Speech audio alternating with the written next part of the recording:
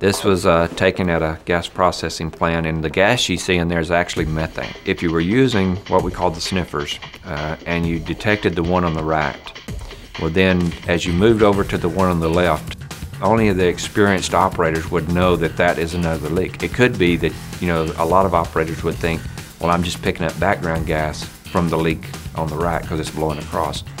And that's another thing that the gas camera does good is, is it locates exactly where the leak is coming from. There's lots of instances where we've gone in and, and found tags, components from TVAs uh, or uh, gas sniffers in the wrong spot because it was actually drifting there from somewhere else.